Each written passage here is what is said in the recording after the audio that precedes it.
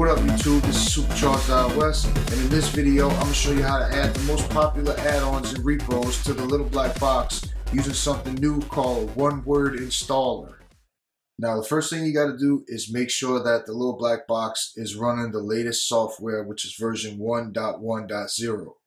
So go to programs and then you want to find the little black box update service, select it and when this opens up, you'll see, make sure that you're on version 1.1.0. That's the current most updated version of software for the little black box. If you're not running this version, 1.1.0, there'll be a link in the description and I'll also put it on the screen during this video and you can go ahead and follow my other video and quickly update the little black box to the latest version and then you'll be ready to move forward. For those of you who are already running 1.1.0, just go ahead and follow me. Next thing you want to do is go back, back all the way and go up to settings, add-ons, get add-ons, and find the little black box repository. Now, when you get this highlighted, you need to bring up your context menu. Now that you've got the little black box repository highlighted, you just click this button right here, and you'll see this menu appear just go ahead and click on check for updates and then you'll see add-on updated at the bottom right hand corner in about 5 to 10 seconds. If you don't see add-on updated then the TLBB repo was probably already updated. Alright so now you can just go back to the home screen by hitting the home button on the remote and then go into programs and TLBB installer select that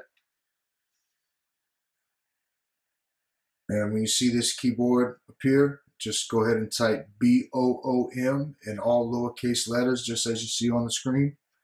And once you get boom, B-O-O-M typed in, just hit done.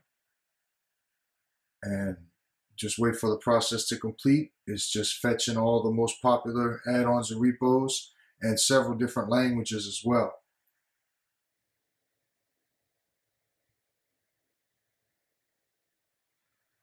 All right, here's the final message that you receive. All done. The TLBB installer is complete.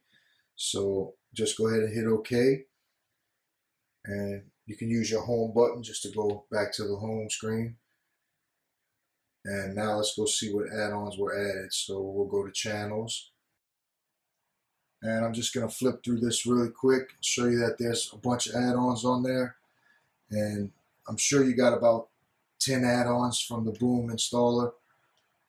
Go ahead and hit the home button and go back to the home menu and go to programs because I saw NaviX. I know a lot of people like NaviX. There it is. I go ahead and launch it.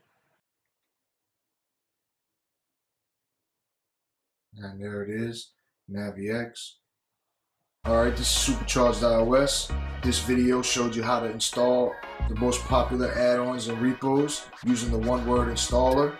And we used the Boom installer. Hope you guys enjoyed this video. Hope it was pretty useful. If you did, please click the like button. Also like my page at facebook.com forward slash charged iOS. Follow me on twitter.com forward slash charged iOS. And also visit my new blog at supachargedios.blogspot.com. Thank you guys for watching. I'll see you in the next video. Peace.